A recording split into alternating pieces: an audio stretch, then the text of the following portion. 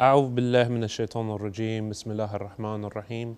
والصلاة والسلام على أشرف الأنبياء والمرسلين سيدنا ونبينا أبي القاسم محمد الأمين وعلى أهل بيته الطيبين الطاهرين المعصومين المظلومين. ولعنة الله على أعدائهم أجمعين من الآن إلى قيام يوم الدين. آمين يا رب العالمين. Dear respected viewers, thank you once more for joining us live from the holy city of Karbala. And this is your live show from the holy city of Karbala, Back to the Basics, in which I, your host, Yahya Seymour, I'm going through some of the topics which affect us and are related to an engagement of ourselves with those who happen to believe in different systems of belief and happen to differ with us on our major core beliefs. Of course, for those of you who have been tuning in, we are continuing with our analysis, and this is, of course, a continuation of our concept of the introduction to the concept of the worldview. The worldview is, of course, a it's a systematic way of portraying how one ought to analyze and understand the concept of a creed or the concept of an aqidah. And indeed, the concept of a religion. For indeed, a worldview is not merely an isolated set of beliefs or just the theological aspects of one's worldview, but rather it encompasses everything how one acts, how one ought to behave morally, how one ought to view things ethically. And so the whole concept of a worldview encompasses aqidah and fiqh and akhlaq. And it is through understanding this concept of a worldview that we've been able to draw some interesting comparisons and enlighten some of the viewers, inshallah ta'ala, in regards to what ways they can have more fruitful conversations with those who believe in other religions or other sects, or even believe in no religion.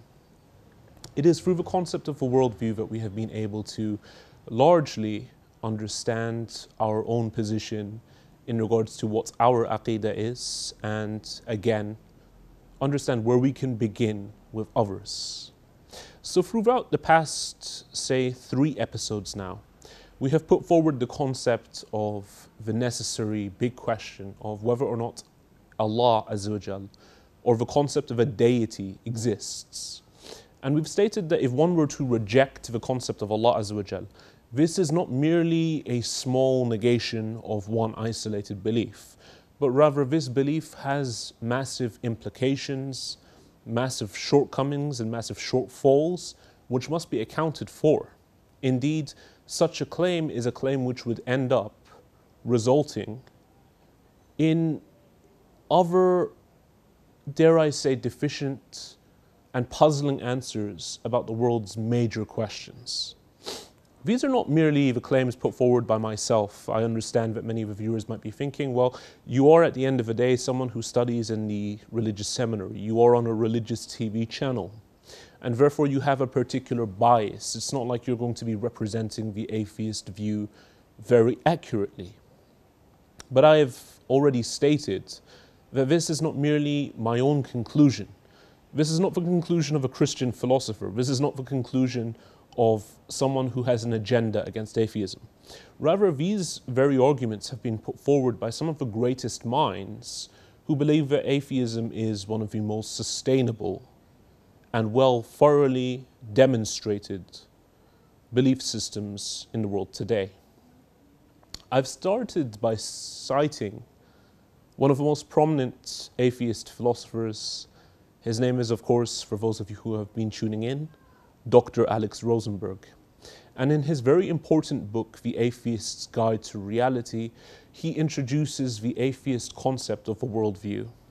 And what he believes is much more than just a set of knockdown arguments against the existence of Allah Azawajal or the existence of God.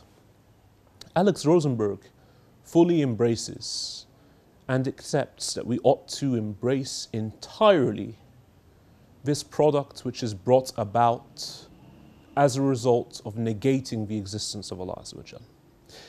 And where has that led us, according to the worldview put forward by Alex Rosenberg?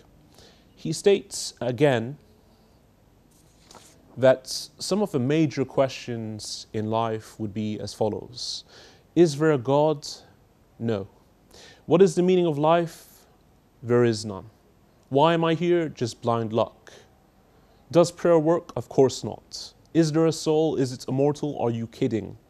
Is there free will? Not a chance. What happens when we die? Everything pretty much goes on as before except us. What is the difference between right and wrong, good and bad? There is no moral difference between them. Why should I be moral? Because it makes you feel better than being immoral.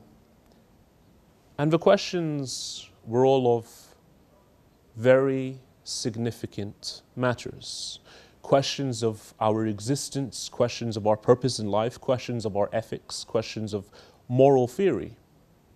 And so, what this has generally led us to understand is that when you remove the existence of a God, or God, or Allah Azza from the framework of your worldview, from the framework of your universe, there would be necessary complications and necessary consequences as a result of doing so.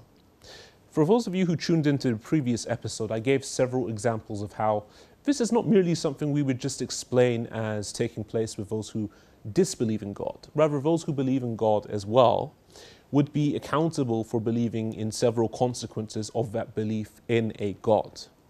But what's interesting about Alex Rosenberg's argument is just how far he's willing to go down the rabbit hole. Now, I refer to it as the rabbit hole because sometimes when you read these beliefs, it really does feel like you're in a fictional novel. It does feel like you're reading someone that is writing fiction as opposed to describing the real world, the world that you and I happen to co-inhabit and live in. Because sometimes it would seem to us that such beliefs are really absurd. Now, of course, I don't want to place those aspects into our hands where it's merely myself judging this as a subjective human being. Of course, I recognize that we as human beings, we all have a level of subjectivity. I might have certain preferences, a preference for a certain color, a preference for a certain type of weather, a preference for a certain temperature, and someone might radically differ with me in such preferences. I may have a preference in terms of which fictional novels I like to read, which literature I find to be the more attractive forms of literature or the most exciting and engaging forms of literature.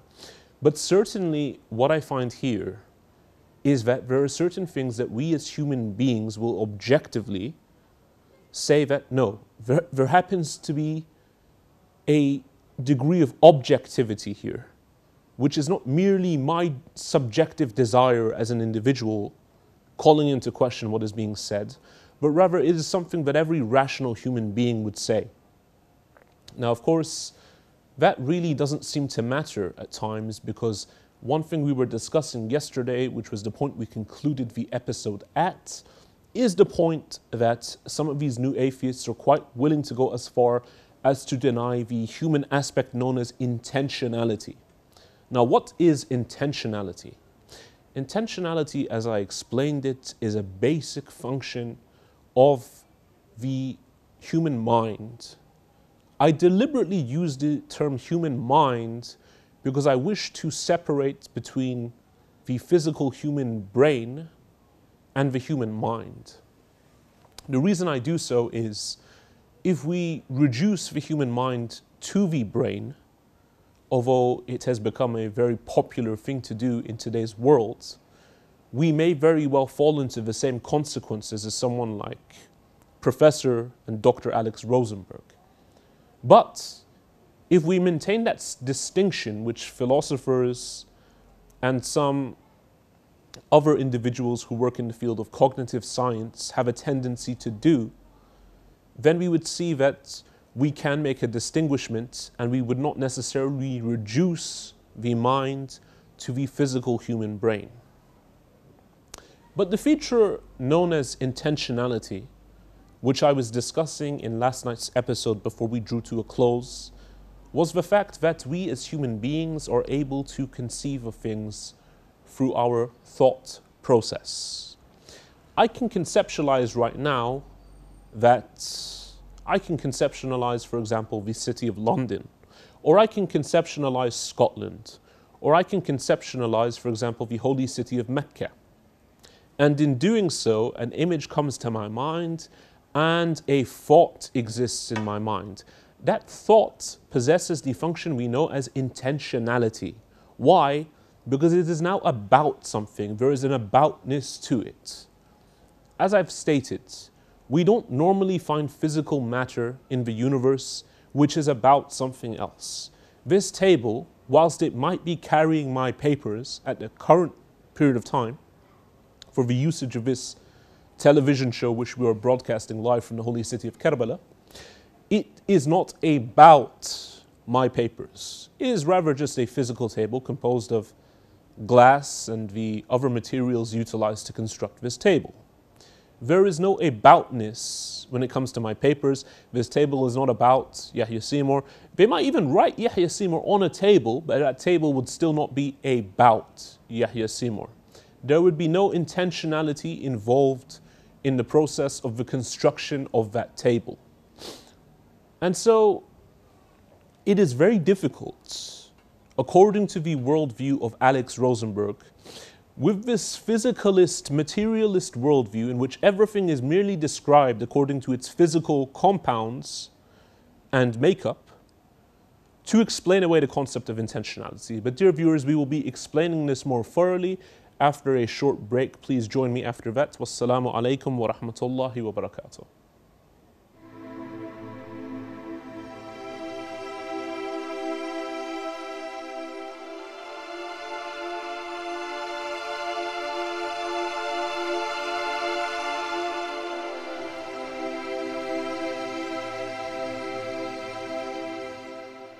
Dear viewers, thank you for enduring that very short break. Before the break, we were, of course, discussing the concept known as intentionality. And we were describing most briefly. I understand it's very frustrating. Many of us have probably never heard that word intentionality before. And even if we have, we may have heard it in a very different usage from the philosophical definition of intentionality or its usage in the realm of cognitive science. But that word intentionality, of course, was to describe the aboutness of something. How my thought can be about Paris, my thought can be about Scotland, and yet we don't have physical objects being about something else. That camera, which is currently recording me and broadcasting myself to the viewers of this channel, may Allah bless you all. It is not about me, it just happens to be focused on me at this particular time. But a thought is very different from a camera. A thought is a non materialistic object. But how do you explain away that non materialistic object in light of a worldview, in light of a philosophy which claims that the only substances are material ones, and that the only things which exist are those which are naturalistically observable according to the five senses? It is this issue, which has landed, of course, the worldview of people such as Dr. Alex Rosenberg and others who likewise recognize this problem and recognize that a strict physicalist, materialistic, atheistic worldview would exclude these items and exclude these processes from a legitimate explanatory scope. It is this issue which has landed their worldview under the lens and criticism of other very like minded, capable philosophers. This particular article has been named Could Intentionality Be an Illusion? A note on Rosenberg. He asks the question Could intentionality be an illusion? Of course not. But seemingly intelligent people think otherwise he states, a still single photograph doesn't convey movement the way a motion picture does. That is to say, a photograph is very different from a film. Watching a sequence of slightly different photos, one photo per hour or per minute, or even one every six seconds won't do it either. But looking at the right sequence of still pictures succeeding each other every 120th of a second produces the illusion that the images in each still photo are moving. Increasing the rate enhances the illusion, though beyond a certain rate, the illusion gets no better for creatures like us. But it's still an illusion. There is nothing to it but the succession of still pictures. Now, you might be wondering what's going on. For those of you who tuned into last night's episode, you would know that Dr. Alex Rosenberg likened the concept of intentionality, the, the concept of the human thought process, the concept of me having a thought about something else, to a photograph and how that photograph can be about something else as well. That's how movies perpetuate their illusion. The large set of still pictures is organized together in a way that produces, in creatures like us, the illusion that the images are moving.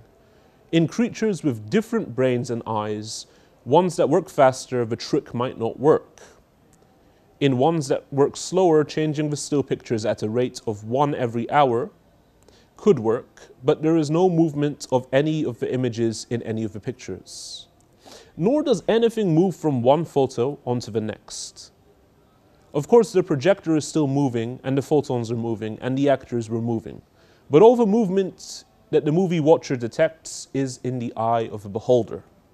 That is why the movement is illusory. The notion that thoughts are about stuff is illusory in roughly the same way. This is the argument of Dr. Alex Rosenberg, and I'm quoting from it directly. The notion that thoughts are about stuff is illusory in roughly the same way. So, Alex Rosenberg likens our thought process, the ability to have a thought about something else, to the ability for a viewer to watch a movie and be deceived that something is actually going on. Think of each input output neural circuit as a single still photo. Now put together a huge number of input output circuits in the right way. None of them is about anything. Each is just an input output circuit firing or not. But when they act together, they project the illusion that they are thoughts about stuff. They do that through the behavior and the conscious experience, if any, that they produce. Now, this is a quote from Alex Rosenberg's The Atheist Guide to Reality Enjoying Life Without Illusions. What's interesting about that particular title is it reminds me very much of the concepts which I've introduced in right near the start of this series. Those individuals that you might meet on the streets who are slightly socially disadvantageous who might have been downtrodden by society, who come to you largely intoxicated or intoxicated is the best word to use, I believe, in either a hyper way or a more calmed down way, for a lack of better terms. Such individuals who have their perceptions of reality distorted through whatever method of intoxication they have been using. When such an individual comes to you and tells you that, look, it's all an illusion, man, it's all a big game, you don't really know the truth, they're hiding it from us, man. They're telling us lies, and I can see, I know the truth. Generally, we don't trust such an individual because he's basically claiming that everyone has been duped, everyone around him. No one can see through reality. No one has an accurate perception of what's really going on. We can't trust our senses, we can't trust our mind, but we can trust this individual who happens to get it right. It's no different from the concept of that movie that came out roughly, pro- probably approximately 15 years ago now, The Matrix, in which one finds themselves in a world where it's all just a giant computer simulation and there's no reality beyond the motion senses which are put into the human body being fed via a computer into his mind. When Alex Rosenberg writes a book called The Atheist's Guide to Reality Enjoying Life Without Illusions, he's basically making a similar claim, especially when he claims that there's no such concept as intentionality, that we cannot trust our thought processes, and that indeed there's no such thing as a thought, but rather a thought is but an illusion.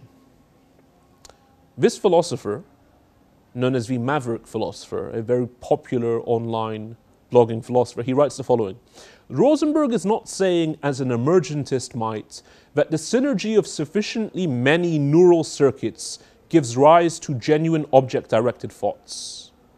He is saying something far worse, something literally nonsensical, namely that the object directed intentionality, thought, that thoughts are object directed is an illusion. So the very thought we have, the very thought that we can now have by even thinking about thoughts, is an illusion.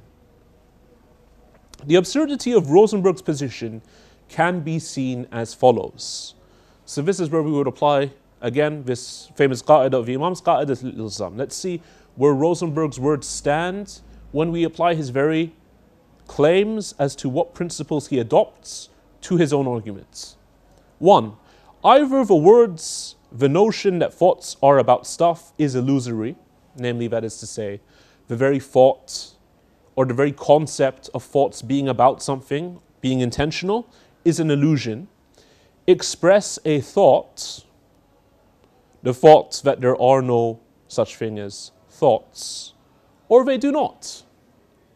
Two, if the latter is true, that is to say, they do not represent a thought or a concept, then the words are meaningless. But three, if they do represent a thought, that is to say, if the very claim that Rosenberg is making is something which possesses the concept of intentionality, if the former, then the thought is either true or false.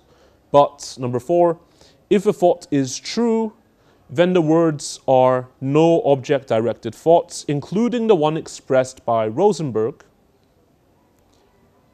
are true, and so his words are once again meaningless. If a thought is false, then there are object directed thoughts, and Rosenberg's claim is false.